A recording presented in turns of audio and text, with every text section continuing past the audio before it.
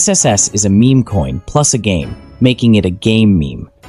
The goal of the game is simple collect as much rice as possible, and then rice can be turned into SSS.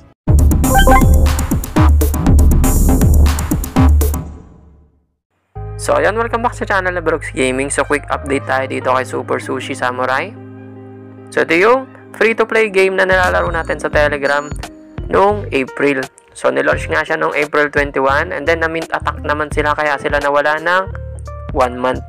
So kapag tinatransfer mo yung token mo is nadodouble yung amount. So kaya binago nila yung kanilang launch ng kanilang game and ng kanilang token. So, noong May 21 is nilaunch na nila yung panibago nilang token na SSS version 2. So, napakarami pa rin naglalaro dito kay Super Sushi Samurai, no? So, talagang na-mint attack lang sila. So, dito sa kanyang game, so yung airdrop niya is matatapos na. So, yung 100 days na paghihintay natin doon sa airdrop na mapuno. So, dito sa airdrop, so mapupuno na yung full total reward natin dito ng 100 days.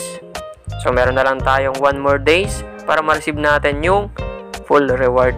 So, pang 99 days na natin ngayon. And then, meron silang nagaganap dito na quest ulit. So, makukuha mo naman dito is NFT skin. So, dito sa quest. So, magde-daily quest ka lang dito and yung growth quest na ginagawa natin dati. So, kapag natapos mo na tong growth quest, dito ka na sa daily quest. So, daily, i-check mo lang naman to.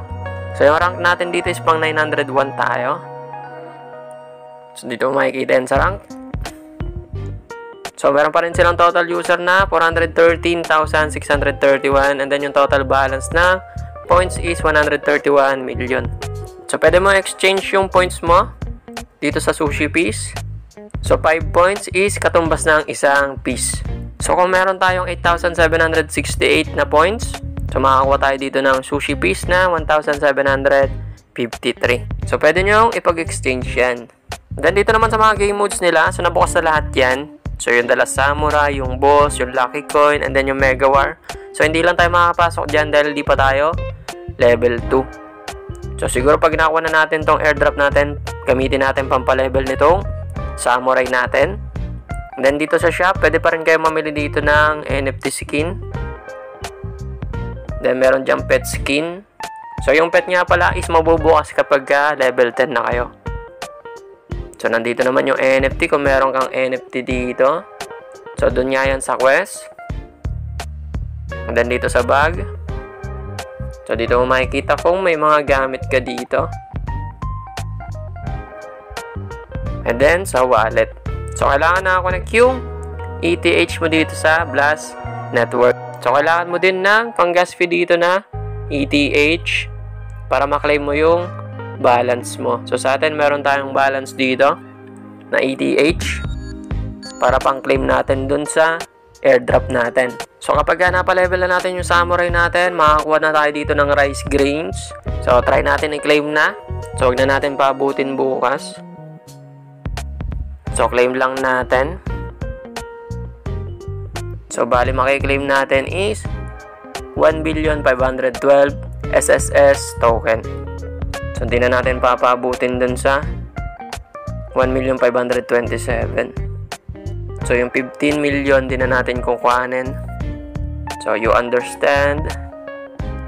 You won't complain. Then, you can claim once. So, I understand. So, meron siyang transaction fee na 0.000016. So, total including fees is 0.0061 dollars. So, available balance naman natin is 0.005.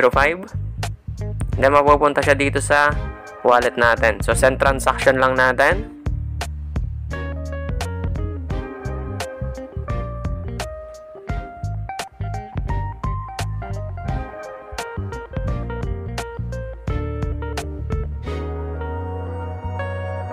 So, ayan, you have successfully claimed 1,512 billion SSS token. So, tignan natin dito sa wallet natin. Kung napunta dito. So, meron na tayong balance dito na SSS token. So, makikita mo dyan yung current balance ng account mo. So, meron tayong $16. So, mababa lang yung price kasi ni SSS token. So, kung gagamitin natin siyang pampalevel dito sa Samurai natin, so click lang natin yung level. So, kailangan natin dito ng 36 million para mapalevel natin tong si Hakita. So, level up natin. So, gagamit ka ulit dito ng gas fee para mapalevel mo yung samurai mo. So, meron siyang spend na 36 million and then transaction fees na 0.0000915 and then yung total including fees niya is 0.38 dollars. So, send transaction lang natin.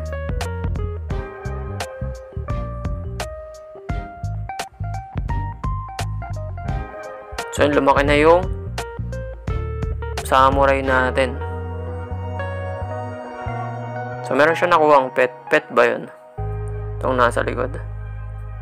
Yung parang tempura.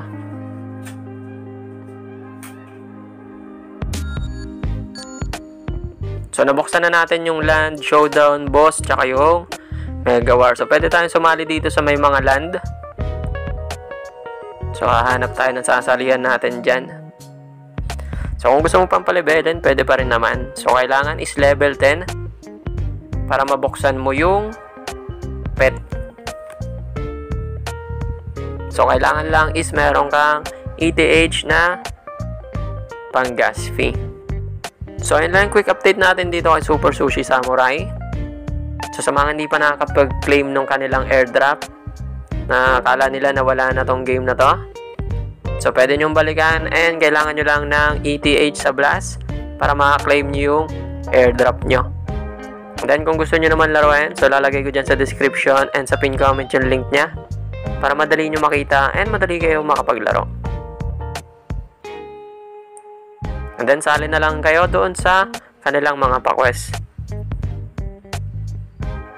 And then, kung mag invest naman kayo dito, kung papalakasin nyo tong samurai nyo, or bibili kayo ng mga skin, so i-invest lang yung mga perang kaya nyo mawala. And do your own research palagi. So, ayan, kita-kits tayo dito kay Super Sushi Samurai. So, good luck sa inyo guys, and see you on the next video.